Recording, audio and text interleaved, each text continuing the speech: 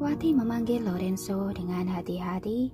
Ia menyadari bahwa antusiasme dan bermanjaan sepasang itu tidak berguna sama sekali bagi Lorenzo dan malah akan membuatnya jijik. Lorenzo menganggukkan kepala dengan sopan, kemudian langsung bertanya pada Semi. Paman Semi, khusus datang ke sini hari ini, ada apa? Semi tertawa sambil berkata, Wati, baru kembali dari Perancis. Aku ingin memperkenalkannya padamu. Sekarang dia adalah model terkenal internasional, menguasai tiga bahasa. Kalian anak muda, bisa berteman. Lumayan. Lorenzo menyela kata-katanya berkata dengan pelan, jika bagian iklan di perusahaan butuh model, bisa mempertimbangkan untuk bekerja sama. Wajah Wati menjadi kaku dalam sekejap dia merasa sangat canggung. Lorenzo, kamu bercanda. Semi meresponnya dengan santai. Ayah Wati membuat perhiasan terkenal, baru menandatangani kontrak dengan Victoria. Jadi dia tidak perlu khawatir soal pekerjaan. Tahun ini dia genap 19 tahun, polos dan lembut, belum punya pacar Paman pikir, sekarang kamu juga lajang, jadi ingin memperkenalkan kalian. Iya, Lorenzo menganggukkan kepala berkata dengan serius, kelak, jika butuh bantuan, langsung cari Jasper. Setelah mengatakan itu, dia pun berdiri. Makan malam sudah siap, makanlah bersama. Wati benar-benar tidak tahu harus bagaimana menghadapinya, hanya bisa menatap Semi dengan gelisah. Semi buru-buru berdiri berkata dengan wajah penuh senyum, "Kalau begitu, kami sudah mengganggu. Silakan." Sekelompok orang berjalan keluar dari ruang kerja dan pergi ke ruang makan. Pelayan sudah menyiapkan makan malam yang mewah. Lorenzo bertanya, "Mana Wiwi?" Bibi Nola sedang memanggilnya. Pelayan menjawabnya dengan hormat. Di dalam kamar, Dewi sedang menguap mengojok matanya dengan malas. Aku tidak mau. Aku tidak mengenal tamu itu. Akan canggung kalau makan bersama. Tuhan sudah berpesan meminta Anda turun dan makan bersama. Nola memohon dengan cemas. Nona Wiwi, tolonglah Jangan menyulitkan kami. Dewi melihat ekspresi Nola yang ketakutan dan tidak tenang. Ia juga sedikit tidak tega. Akhirnya ia bangun, ganti pakaian, dan turun ke lantai bawah. Musik piano merdu sedang diputar di ruang makan. Meja makan dipenuhi dengan berbagai makan makanan lezat. Lorenzo duduk di kursi utama. Ia sedang membahas masalah perusahaan dengan Semi. Wati mendengar dengan patuh di samping menatap Lorenzo dengan penuh kekaguman. Lorenzo memiliki semacam pesona yang tak terkalahkan menarik perhatian Wati. Sayangnya Lorenzo dari awal hingga akhir tidak meliriknya sama sekali. Begitu Dewi datang, ia malah berdiri dan menarik kursi untuknya, juga dengan perhatian memakaikan serbet untuknya. Melihat adegan ini, Wati sedikit tercengang. Semi menatap Dewi dengan tajam bertanya sambil tersenyum. siapa ini? Dia Wiwi. Lorenzo memperkenalkannya secara singkat. Calon istriku. Kebetulan Dewi sedang minum seteguk air hampir memuncratkannya untung dia menutup mulutnya tepat waktu tapi dia tetap terbatuk tanpa henti karena tersedak Situasi apa ini? Mengapa dia tiba-tiba menjadi calon istrinya juga tidak memberitahunya? Hah? Saat ini Semi tercengang. Dia sama sekali tidak menyangka Lorenzo sudah punya calon istri dan memberitahunya secara langsung. Wati juga terkejut dan tercengang. Namun Semi sama sekali tidak terpengaruh segera tersenyum menyapa Dewi dengan murah hati. Halo, Dewi tersenyum dengan canggung mendekat ke sana bertanya pada Lorenzo. Kapan aku jadi calon istrimu? Kenapa aku tidak tahu? Cepat atau lambat, Lorenzo menjawabnya secara alami. Dewi tidak bisa berkata apa-apa. Dia merasa kesalahpahaman ini sudah semakin dalam. Kelihatannya ia harus segera pergi dari sini. Kalau tidak, dia sungguh akan dipaksa menikah oleh pria ini. Dia tidak ingin menikah, melahirkan anak itu sangat menakutkan. Nama panggilanmu? Semi bertanya pada Dewi dengan ramah. Aku panggil dia Nona Wiwi saja. Lorenzo memperkenalkannya. Tunggu lukanya sembuh. Aku akan menyiapkan pesta pernikahan dan memberitahu semua orang. Hah? Dewi tercengang apa? sudah mau mempersiapkan pesta pernikahan, walaupun mereka berjodoh ketika masih muda, tetapi sekarang semuanya juga sudah berubah. Mereka berdua baru saling mengenal lagi dan sudah mau menikah. Otak pria ini terbuat dari apa? Ini adalah hal yang menggembirakan. Semi berkata sambil tersenyum. Selamat, selamat. Wati masih tidak cepat ucapkan selamat pada Tuan. Hah? Wati tercengang sejenak berkata dengan senyum kaku. Tuan, selamat. Terima kasih. Lorenzo meresponnya dengan tenang. Makanlah. Mereka makan sambil mengobrol santai. Semi bertanya dengan akrab. Nona Wiwi berasal dari negara Nusantara kan? Iya, Dewi sedang memotong bistik sapi. Dia sama sekali tidak menyukai acara ini, hanya ingin lebih cepat mengakhirinya. Apa pekerjaan orang tuamu? Semi bertanya lagi. Dewi tidak menjawab pertanyaannya, hanya berkata pada Lorenzo, "Aku sudah kenyang. Kalian makanlah pelan-pelan." Setelah mengatakan itu, ia pun berdiri dan pergi. Lorenzo melakukan sebuah isyarat tangan. Nola buru-buru maju untuk mengantar Dewi. Tuan, Wati mengangkat gelasnya dan hendak bersulang pada Lorenzo, tetapi secara tidak sengaja menyatukan gelas dan menumpahkan anggur ke tubuhnya sendiri. Dia berteriak dengan terkejut buru-buru berdiri. Kenapa tidak hati-hati? Semi menyalahkannya sambil mengerutkan kening. Naiklah ke atas, bersihkan dulu. Jasper meminta seorang pelayan untuk mengantarnya naik ke atas. Nona Wiwi, Wati mengejar Dewi di tangga spiral dengan langkah besar. Tadi aku tidak sopan saat di taman, maaf. Tidak apa-apa, Dewi asal merespon. Rokku kotor, apa boleh membersihkannya di kamarmu? Wajah Wati penuh dengan senyuman, jelas-jelas berniat ingin mendekati Dewi. Ada banyak kamar tamu, kenapa harus ke kamarku? Dewi biasanya berkata dengan lugas. Hah? Wati tidak bisa berkata apa-apa ketika mendengar kata-katanya. Nona Wati, aku minta orang untuk mengantarmu ke kamar tamu saja. Nola buru-buru meredakan kecanggungan. Terima kasih. Wati meresponnya sambil tersenyum kemudian berkata pada Dewi lagi tanpa menyerah. Biasanya Tuan sangat sibuk, mungkin tidak ada waktu menemanimu. Kamu sendirian tinggal di kastil pasti bosan kan?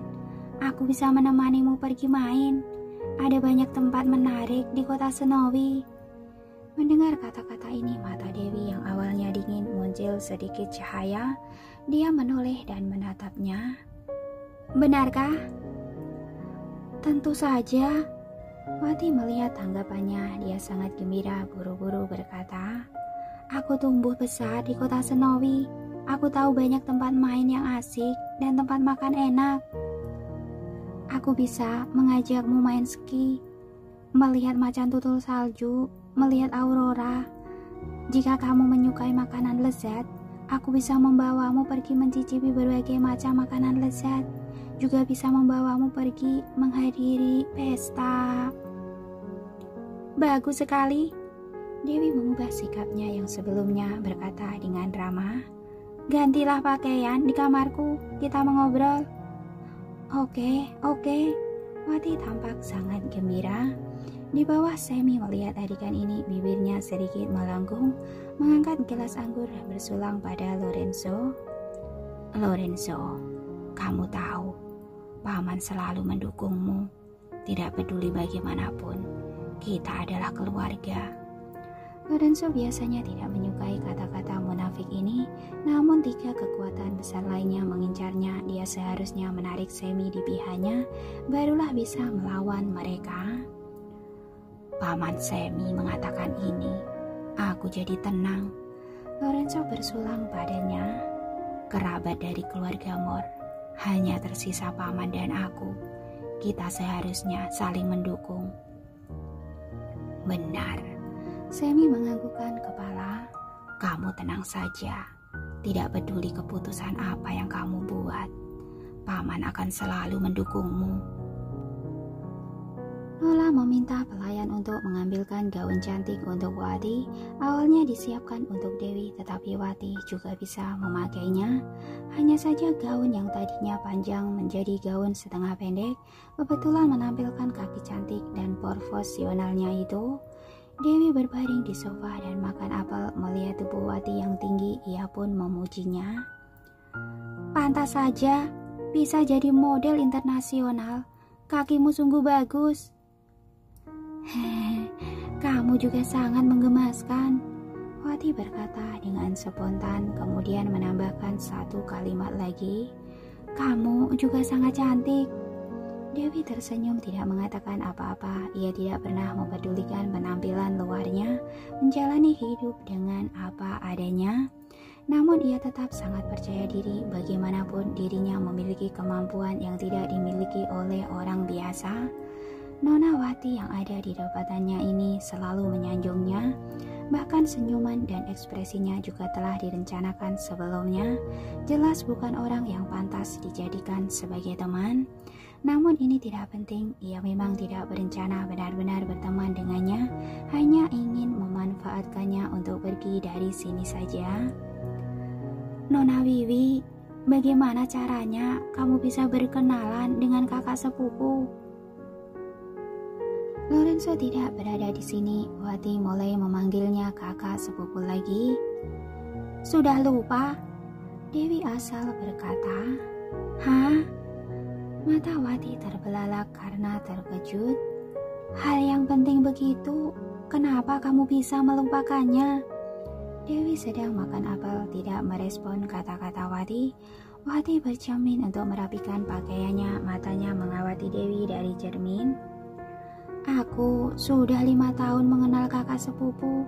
Aku tertarik padanya saat pertama kali melihatnya di acara perjamuan lima tahun yang lalu. Kamu benar-benar dewasa lebih awal. Dewi meresponnya.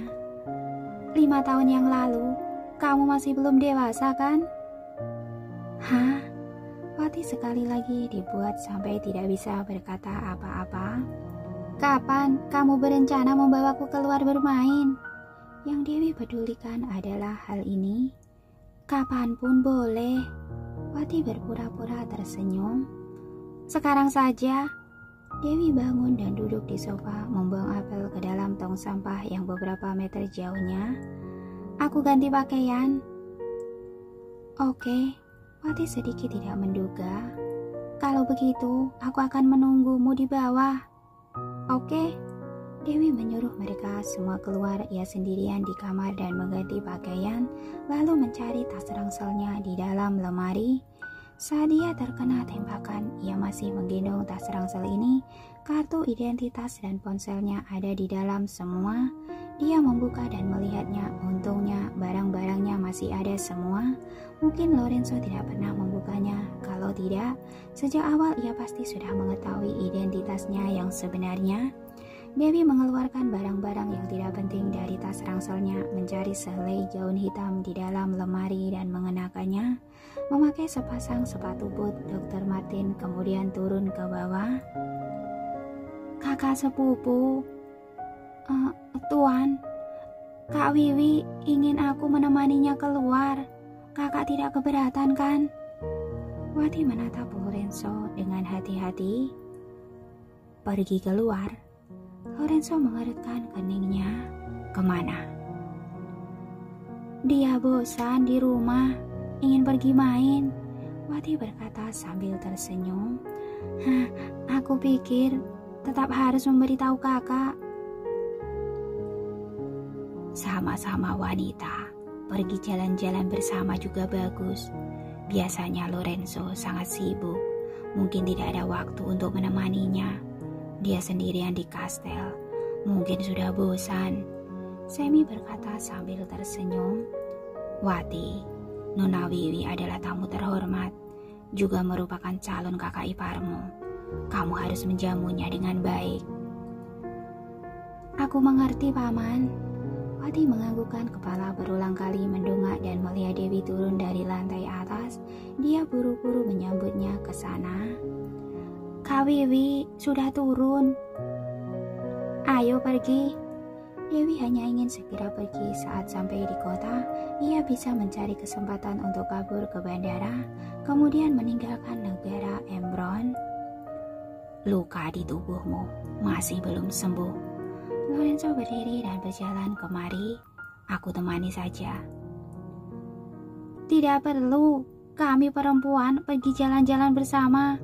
Betapa membosankan kalau kamu ikut. Dewi buru-buru berkata, kami pergi main sebentar, akan segera kembali. Kakak sepupu tenang saja, aku akan menjaga Kak Wiwi dengan baik. Wati merangkul bahu Dewi dengan akrab. Mereka berdua seperti sudah saling mengenal dan berhubungan sangat dekat. Tinggi badan Wati 178 cm. Ia memakai sepatu hak tinggi 8 cm. Dewi di depannya terlihat seperti anak kecil. Perbedaan tinggi badan mereka berdua tampaknya sedikit lucu. Dewi menoleh ke samping menarik Wati pergi. Lorenzo sedikit tidak tenang memberi Jasper isyarat. Jasper segera mengatur orang untuk mengikutinya. Tidak perlu khawatir, perempuan keluar main bersama. Tidak akan terjadi masalah. Semi berkata sambil tersenyum. Nona Wiwi adalah calon istrimu. Wati tidak berani memperlakukannya dengan buruk. Iya, Lorenzo meresponnya lalu lanjut makan. Oh ya, Lorenzo, apa kamu dapat kabar? Semi menggoyangkan gelas anggurnya, mengobrol dengan santai. Presir James di kota Bunakan bunuh diri, lompat dari gedung. Lorenzo sedang memotong bistik sapi, gerakannya berhenti menengadah dan menatap. Apa? Beberapa hari yang lalu, beritanya sudah tersebar di negara Nusantara, tapi tidak tahu kenapa sekarang Beritanya ditutup-tutupi, tidak ada di internet. Aku juga tahu dari teman yang ada di sana. Semi menceritakan dengan tenang seperti sedang menceritakan sebuah kabar yang tidak ada hubungannya dengan dirinya. Setelah mengatakan itu, ia masih menambahkan, "Sungguh disayangkan. Waktu itu kita masih mempertimbangkan mau bekerja sama dengannya. Bagaimanapun juga, Pasar Nusantara ada di kota Bunaken.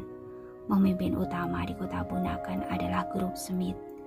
Sekarang kelihatannya harus mencari ulang mitra kerja kita. Kata-kata selanjutnya tidak didengarkan Lorenzo lagi. Ia tiba-tiba tidak punya nafsu makan, meletakkan alat makan dan berkata, Aku masih ada pekerjaan yang harus diurus. Paman makanlah pelan-pelan. Kalau begitu, aku tidak mengganggumu.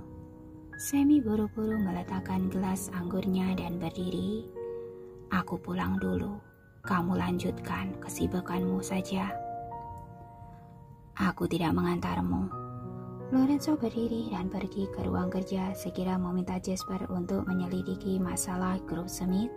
Jasper berkata dengan lemas, Sebenarnya beberapa hari yang lalu sudah mendapat kabarnya. Waktu itu Jeff ingin melaporkannya pada Tuan. Tapi waktu itu Nona Wiwi terkena tembakan. Anda sangat sibuk. Datanya, Lorenzo mengerutkan keningnya. Jasper buru-buru mengeluarkan data-datanya, memberikan tablet padanya, melaporkan dengan hati-hati, James sudah dimakamkan. Nasi sudah menjadi bubur. Memang benar bunuh diri. Tapi dia mati karena dipaksa. Orang di belakangnya adalah orang keluarga Wellens.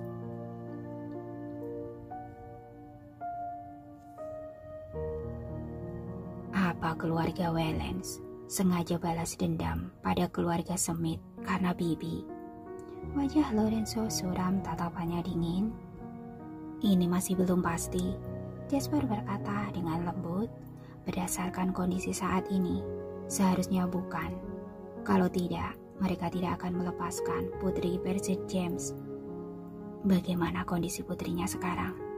Lorenzo bertanya. Dia aman. Pelayan setia keluarganya membawanya pulang ke desa. Jasper berkata, menurut Tuan, apa perlu memastikan identitasnya, kemudian menjemputnya pulang? Tidak usah dulu.